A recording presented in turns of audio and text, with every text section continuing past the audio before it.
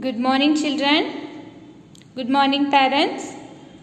We have done till the letter K, cursive letter activity. Today we are going to do letter L. First, you tra- you write write somewhere in any book. Take any books, old book, rough book, anything, parents. Okay.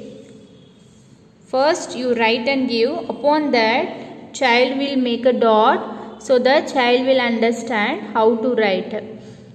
L. I'm now I'm doing L slanting and take a turn. Come straight line. One curve. This is the letter L. Now coming to letter M. Slanting straight line again from here curve